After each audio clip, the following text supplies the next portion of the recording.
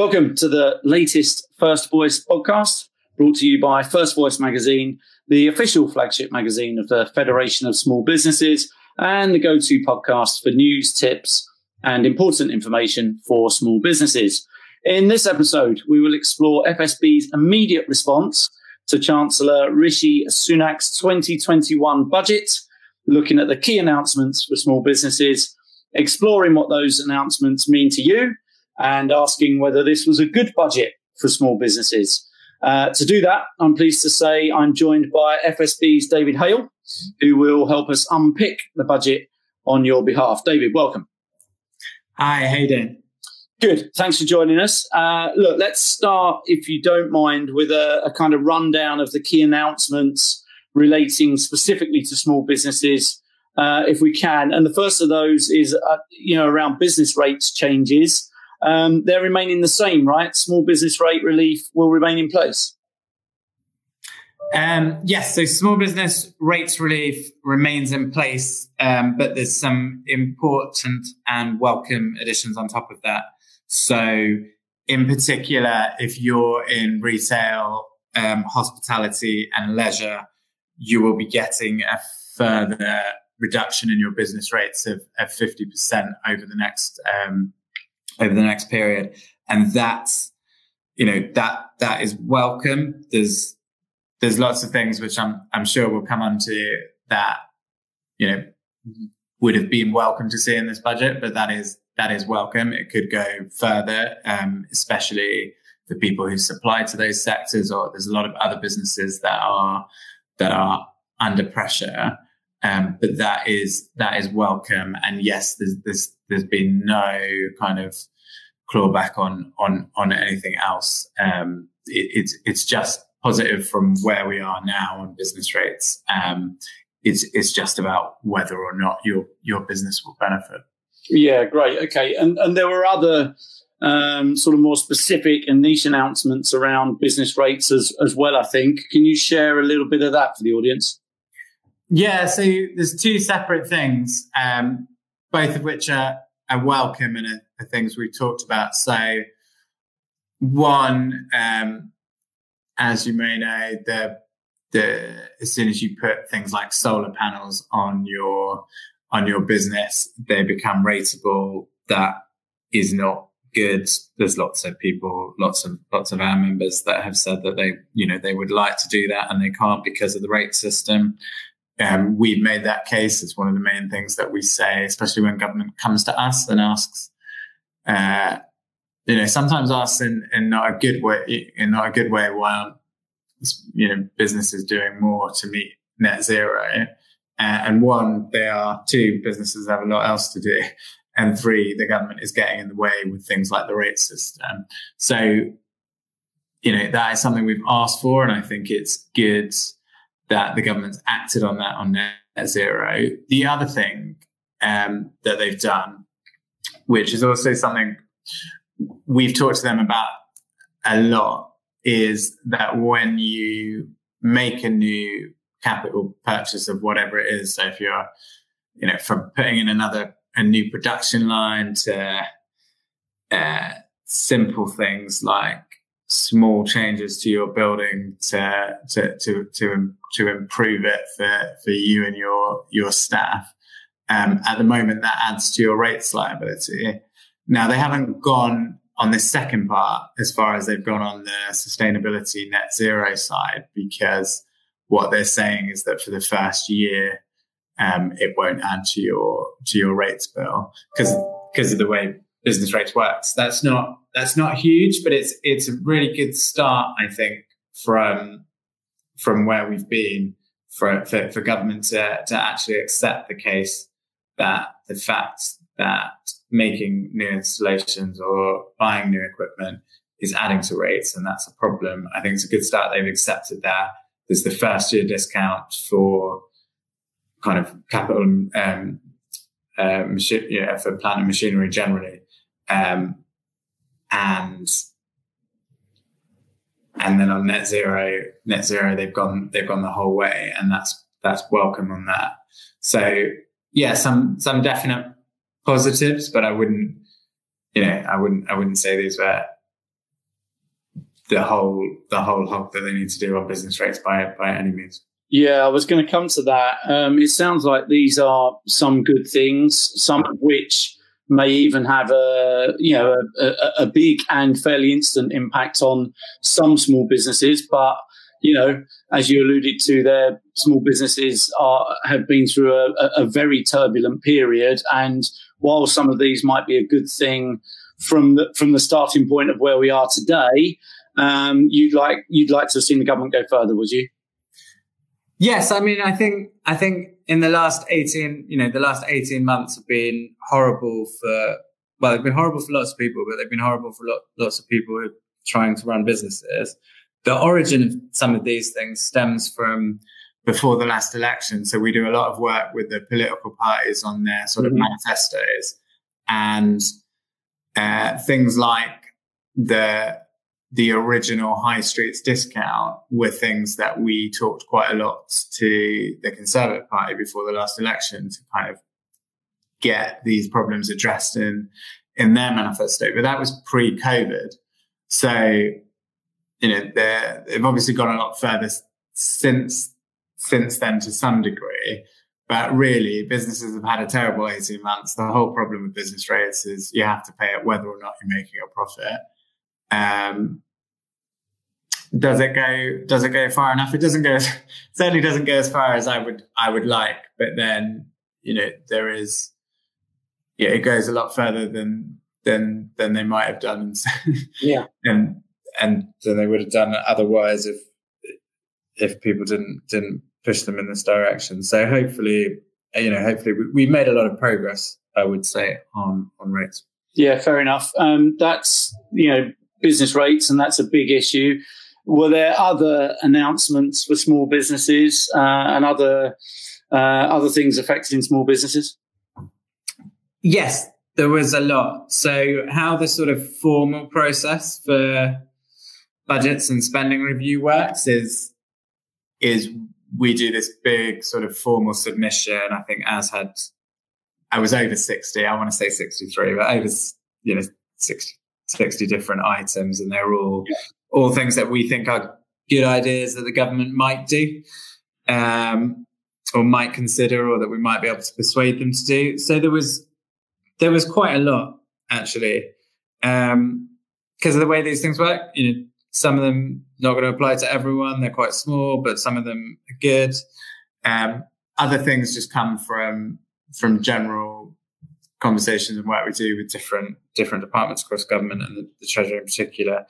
But yeah, I mean, a few things. So one is a, is a nice reform to R and D tax credits to help with kind of on the on the digital side. So data and cloud computing, you now be able to get get R and D tax credits um, connected to that. They obviously talked to an accountant about the the details. There's some good there's some good programs that they've been doing through the British Business Bank, um, similar to the sort of Northern Powerhouse Fund, uh, and a different, slightly different one called the Regional Angels Fund. That's that's helping in the in places like the, the Northeast to get more investment into businesses that they're going to expand, which I think is helpful and positive. Um, loans are no one's favorite thing by any means.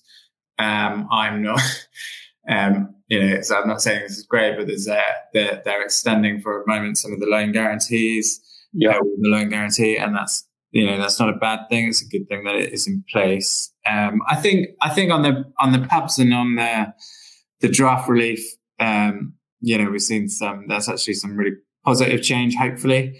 Uh, always say on budget day we'll go through all the detail um, because we we will. But I think there's some some positive changes there. I think also on um, things like skills, I think we're actually a bit we're a bit more positive than we we have been in terms of what's uh, we have been on, on other occasions about what's what's being announced because it seems like there is an understanding more of what it is that small firms would be looking for from the government on skills. So, you know, not kind of skills courses that take years and make yeah make it so that that that people aren't coming out with anything that's sort of job relevant.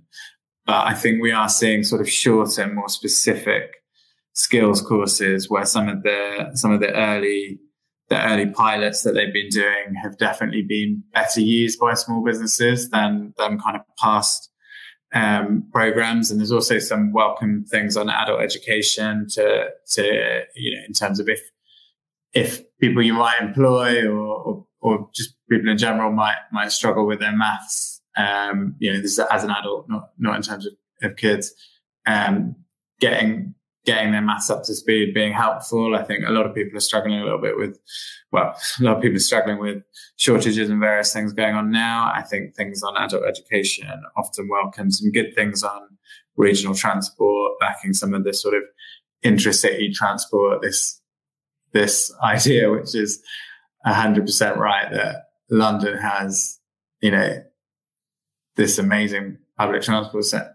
And then you go somewhere like Birmingham, and it, you, you can basically get a bus into the city centre and a bus out from the city centre somewhere yeah. else, and that's not, you know, that that's not good at all. So, so there, there was there was quite a bit um, in there that was, you know, that was fairly positive. But again, all of these things are kind of smallish positive decisions that you know might add up well or or, or might miss your business out. It kind of depends what your business is.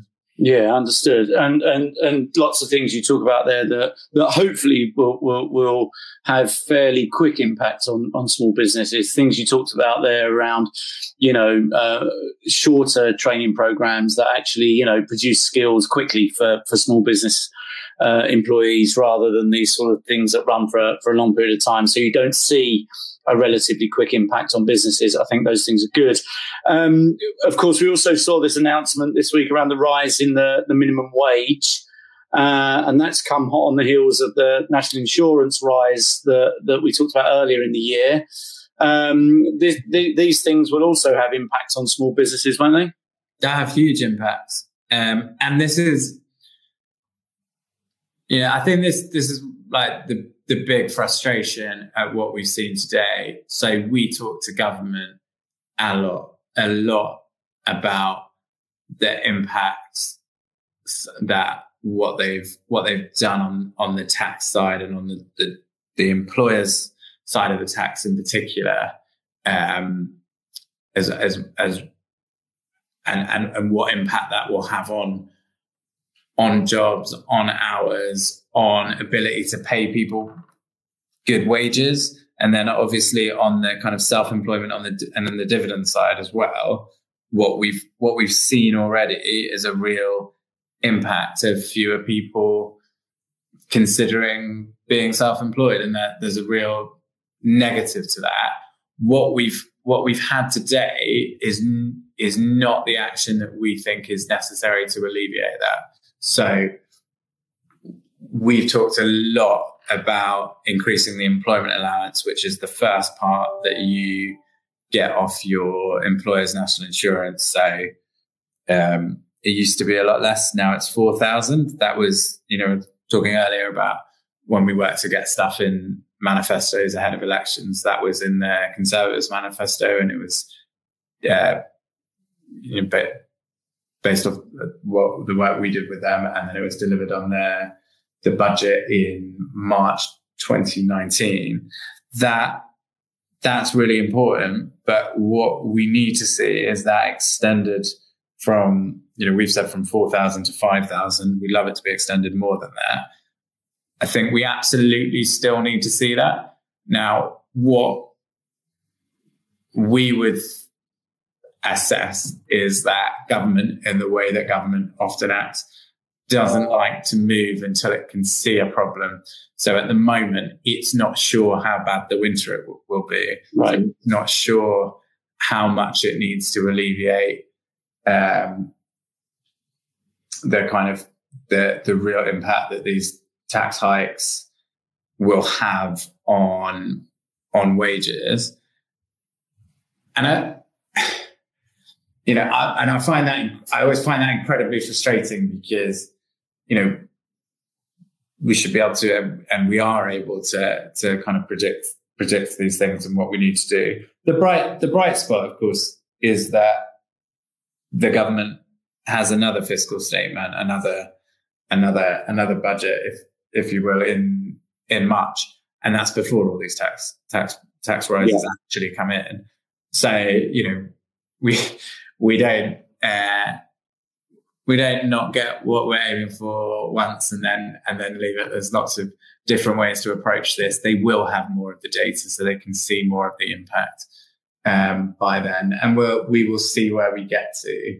But you know, if you were to ask me now, what's your starting point for next time? This would definitely be one of them. And you're absolutely right on the on the to to bring the the living wage in alongside the tax hikes because they add on each other. The last thing you want is, you know, if you if you're having to put people's wages up but you take their hours down, that's not ideal. What we've always said is so much of the money that goes to that goes to that worker just goes straight to the straight to the treasury. Yeah. We're not always convinced they they spend it that well. Actually, using it to sort of alleviate some of the employment cost pressures on on small businesses would help enormously. Um, and we'll keep making that case. Um, you know, I think the the government has a an independent office of budget responsibility, which is um, talked today about having a more positive view of employment going forward, and that that can influence kind of how they take decisions um, quite a lot because they get this official advice that, yeah, if you like, that everything is rosy in the economy. Now, everything isn't rosy in the economy. Everybody should know that. Um, but that's the sort of kind of institution that I think you're you're pushing against from our perspective. So we will see how things go, and we will we will push on that. Well, um, that, that, that, that's a nice segue, I think, David, into you know what what will FSB be doing from here? You know, you you you mentioned that we've got that. Um, that early 2022 budget um, is, not that far away, is it really? Um, so you guys will continue lobbying, I assume. Um, what what what will that activity look like in the coming months, and and, and what might it focus on? Oh yeah, so so I mean we'll we'll continue on everything. There's there's kind of there's two separate aspects. There's one, so departments got their sort of spending allocations today. So there's there's one right now. How are they going to spend that money that they've just had confirmed today? So that's sort of things like how those skills programs work and and how kind of transport stuff is delivered in practice. Um, so, you know, we'll be talking to departments, um, ministers, and, you know, their advisors uh, uh, across government and also with kind of MPs, with other, other people kind of constantly on, on, on that front. And then the, the budget aspect, which is where some of these tax questions come in, that kind of works on a cycle. So, so, um, between sort of now and Christmas, if you like. That's the sort of gathering evidence, etc. Um, process. That's that's where you know you might see some of these uh, counter uh, counter views to to the OBR kind of be be better evidenced um, in the next couple of months, um, and then it, it, there are conversations that happen about that with kind of um, officials in government and again advisors, ministers, etc. And then that sort of formalizes into a into a particular process on the one side with kind of submissions, etc. And then like obviously everything we say in the press, everything we say privately, uh, those kind of conversations where we can just sort of bring out what members are experiencing and make that real to people who, who you know, people who sit at the, the top of government departments get information in particular ways and with particular standpoints. And uh, our worry is constantly that aside from us, there's, there's no one pushing on the small business side. So we will just make sure we do that. Um, and it, governments make loads of small decisions every day and they make a few big decisions fairly regularly that have, that have massive effects on, on people's lives. So, you know, we just, we just plan ahead to those and, and how we can, we can make sure that the small business voice is heard. Brilliant. David, that's really fantastic. And, and, and thank you so much for, for helping us pick through uh, the 2021 budget um, and focusing on the, the, the, key aspects for, for small businesses. I'm really grateful. Thank you for, for joining us. Thank you also to our audience for listening in. Uh, while I have your attention, I'd like to just remind you that you can subscribe to the First Voice podcast to receive regular updates and guidance on the big issues affecting small businesses. Uh, and do please also remember that you can find a whole host of additional webinars, podcasts, and other content on the First Voice website at firstvoice.fsb.org.uk. Many thanks for joining.